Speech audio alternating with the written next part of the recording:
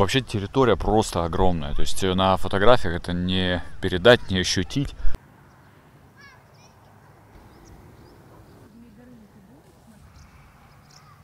Ну прям реально атмосфера сказки. Друзья, вы сто процентов задавали своим знакомым вопрос, куда они идут, и слышали в ответ на Кудыкину гору. Куди так торопишься, милай? На Кудыкину гору, дядя. А что же это за Кудыкина гора такая? Есть ли она на самом деле, и если нет, то откуда взялась эта мода туда ходить? Маленький спойлер.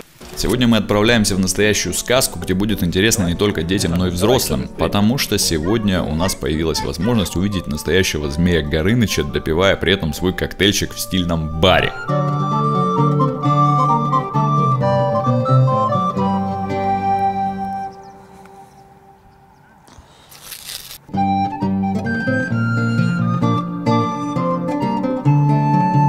Когда-то существовало поверье, если охотник ответит прохожему, куда он идет, то удачи ему не видать. Поэтому и выкручивались Кудыкиной горой. Кудыками называли тех, кто задавал этот вопрос. Еще слово «куда» было созвучно с «куть», а означало оно черта или беса. Сейчас фраза «на Кудыкину гору» используется, чтобы пресечь неуместные или бессмысленные вопросы. И такие выражения можно встретить не только в русском языке, что интересно. В английском языке, например, на вопрос «where» могут ответить фразой «to lands and fair», в испанском языке на аналогичные вопросы могут ответить «акасар пахарас», что значит «охотиться на птиц». Но если раньше о таком месте, как Кудыкина гора, никто не знал, потому что его просто не было, то сейчас оно очень даже реальное и находится в Липецкой области. Папа, ты меня где-то там еще сфоткаешь? с другой стороны. Ты можешь покататься на лошадках вот там. Лошадка.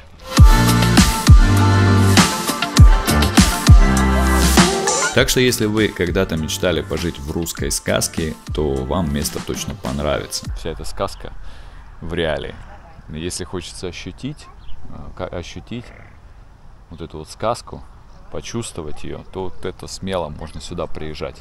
Это прекрасное место. Это целая сказочная вселенная. Здесь можно увидеть настоящего змея Горыныча, попробовать себя в изготовлении романовской игрушки в стенах русской крепости и увидеть живущих здесь зверей, лошадей, ослов, страусов, баранов, павлинов, буйволов, енотов, кенгуру и даже верблюдов. Кудыкина гора это еще и сафари-парк. Территория парка 500 гектаров. Территория просто огромная. То есть на фотографиях это не передать, не ощутить. Огромная территория и поля. Посещают это место ежегодно около полумиллиона человек. Большинство гостей в первую очередь хотят посмотреть на Горыныча, ведь именно он это один из самых ярких символов русской сказки.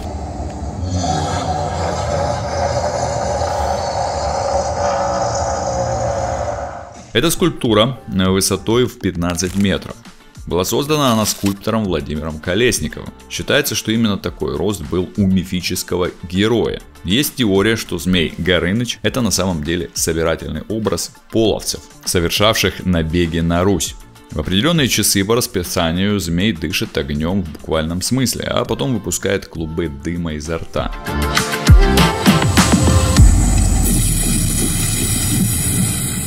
Извергает пламя, крики, тут все, вот, короче, колонки, все это сопровождено. Аудиосопровождение, назовем это так. Звуковики работают. Короче, атмосфера очень мощная. И если вы сюда подойдете к нему, то этот товарищ чем пахнет? Ну-ка скажите мне, чем пахнет? Конечно, не там э, э, каким-нибудь Шанель номер 5. Он пахнет бензином, я не знаю, чем-то таким соляра какой-то. Запашок у нашего Горыныча не, не лучший.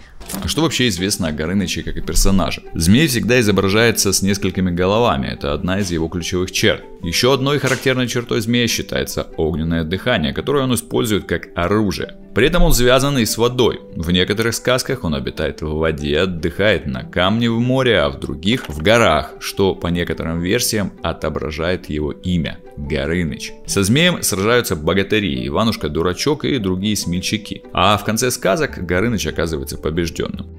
И здесь, возможно, кому-то вспомнится былина про Добрыню Никитича, в которой богатырю удалось победить змея, пусть и не с первого раза. Как раз недалеко от крепости на территории Кудыкиной горы можно найти памятник трем богатырям. Выполнен он из меди. Существует местная легенда, что если в ложку Ильи Муромца положить монетку, то вам будет сопутствовать удача. Так что определенно их нужно найти. Илья Муромец по сказкам и былинам известен своей силой и героизмом. Легенда гласит, что он долго страдал от паралича, но после чудесного исцеления приобрел сверхчеловеческую силу и стал главным защитником Руси. Считается, что в возрасте 33 лет, когда Илья Муромец находился дома, один к нему явились три святых старца, замаскированных под нищих. Они попросили принести воды, чтобы напиться. Несмотря на физические трудности, Илья встал, принес им воду и выпил ее сам по их просьбе. После этого чудесного события он обрел огромную физическую силу, а старцы предсказали ему, твоя смерть не случится на поле боя. Получив это предсказание и исцелившись, Илья решил посвятить свою жизнь служению Родине и защите своего народа. Добрыня Никитич же отличается своей мудростью и дипломатией, а Алеша Попович хитер и остроумен. Добрыню иногда называют э, князем или племянником Владимира Красного Солнышка. Считается, что историческим прототипом этого героя был воевода Добрыня, который был дядей князя Владимира и братом его матери, Малуши. В соответствии с былинами, Добрыня Никитич был сыном рязанского воеводы по имени Никита. Этот богатырь известен своей умственной и физической ловкостью. Он не только обладает умом и образованностью, но и имеет множество талантов. От виртуозного обращения с оружием, ловкого управления луком, умелого плавания, умения петь и виртуозно играть на гуслях. Алеша Попович отличается не силой, а скорее умом и сообразительностью. В целом он известен своей хвастливостью, высокомерием, лукавством и обманчивостью. Вы знаете, когда был маленький, мама, да, там бабушка рассказывала сказки. Сейчас становишься большой, и вот это вот, по сути, сказка наяву. Я тоже своим детям рассказываю всякие сказочки. Конечно, с таким часто современным уклоном, они смотрят там всяких спайдерменов и так далее, расскажи нам мне про то, расскажи про все. Но им очень нравятся всякие наши, наши сказки. Плюс там, если какие-то задействованы герои, типа Коньков-Горбунков. Что я хочу сказать? Все это, это сказка наяву. Такая, когда мы уже большие дяди, и вот так вот это все выглядит, вся эта сказка в реалии. Если хочется ощутить, почувствовать ее, то вот это смело можно сюда приезжать. Это прекрасное место.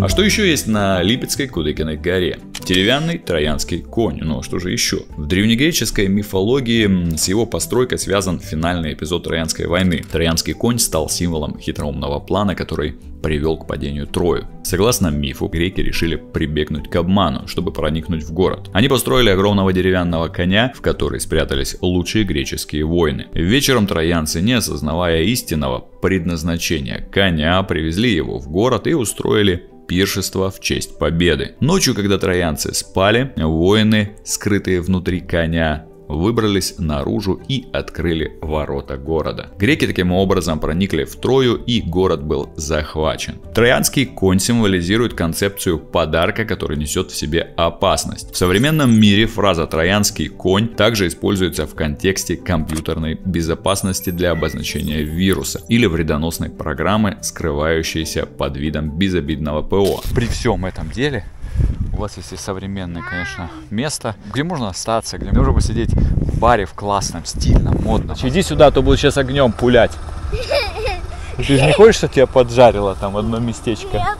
Ну вот, поэтому давай сюда. Дуй. Иди сюда, подожжет. Вот такие дети современные, понимаете, они ждут, когда кого-то подожжет дракон. Другой популярный арт-объект Кудыкиной горы – древнерусская крепость. Она полностью аналогична тем, что строились на Руси в 10-13 веках. Проект разрабатывался при участии археологов и архитекторов, поэтому можно не сомневаться в том, что крепость максимально близка к реальным. В 2006 году археологические раскопки выявили наличие скифского поселения неподалеку, из-за чего было принято решение о воссоздании древнего городища. Таким образом, на Кудыкиной горе была построена Ивано-Скифская крепость. Мастера из Ивановской области возводили ее из сибирского леса на протяжении нескольких лет.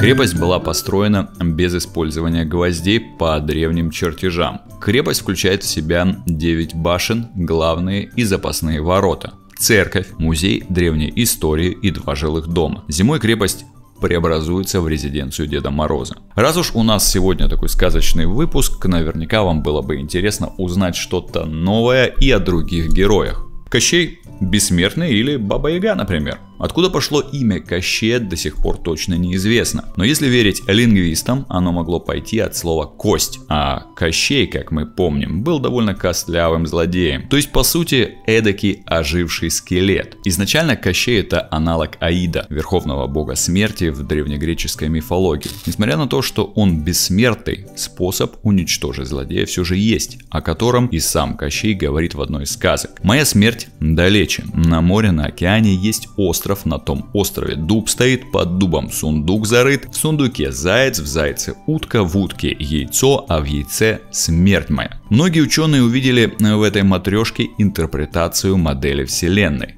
Вода, то есть море, океан, земля, это остров, растения, дуб, животные, заяц, птицы, утка, а дуб – мировое древо. Говоря другими словами, покончить с Кощеем можно, уничтожив миропорядок. Но что же Баба Яга? Она обитает в глухом лесу своей знаменитой избушки, стоящей на курьих ножках. Это те детали, которые запоминаются нам еще с раннего детства. Но на самом деле образ ее более сложный, а фактов, которых мы не знали о персонаже, тоже немало. Согласно большинству теорий, слово «яга» связано с представлениями о чем-то неприятном и устрашающем. Лингвист Макс Фасмер в своем этимологическом словаре перечисляет значения этого термина на разных языках, включая такие как ведьма, волосатая гусеница, опасная, злая старуха. Историк Владимир Петрухин связывал ягу с прославянским корнем, обозначающим змей и других гадов. Вспомните Яга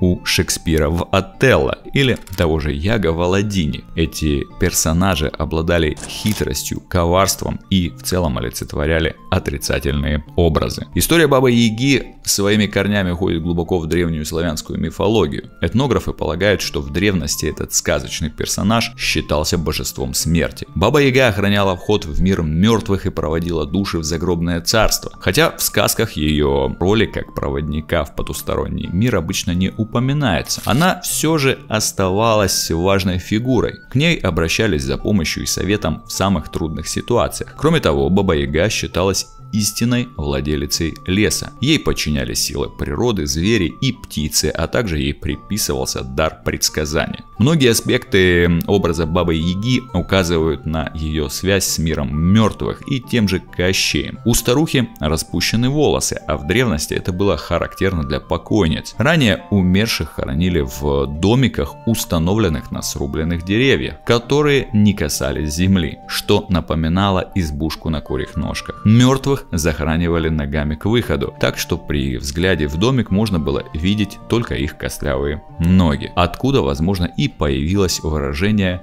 костяная нога. Кроме того, предки верили, что души мертвецов могли перемещаться в гробах, как Баба Яга в своей ступе. Персонаж Бабы Яги из славянского фольклора несколько раз появлялся в голливудских фильмах. Один из примеров короткометражный анимационный фильм Баба Яга, где роль героини озвучивает Кейт Уинслет. Кроме того, сказочная старушка появляется как второстепенный персонаж в фильме Hellboy. В оригинале Hellboy упоминает, что последний раз видел Ягу, когда она она вызывала дух Сталина. Естественно, здесь огромная такая территория, здесь всякие тусовки. Но плюс молодцы то, что и старину сделали, да, вот, э, вот эту сказочную, и при этом супер классный современный такой и ресторан, и бар. Фантастик, конечно, просто фантастик. Друзья, на этом у меня все. Если вам э, понравилось, ставьте лайк. Не забывайте, что у меня есть и второй канал, называется он э, Smaps Education. Там я рассказываю много о зарубежном образовании и зарубежных учебных заведениях, о разных э, личностях, э, у которых мы можем чему-то поучиться. Поэтому тоже заходите на канал, подписывайтесь, там много всего интересного из мира образования. А если вас интересует учеба за границей или поехать э, поучить язык где-то за рубежом, то заходите на наш сайт www.smaps.ru. Там вы можете выбрать любое учебное заведение за рубежом.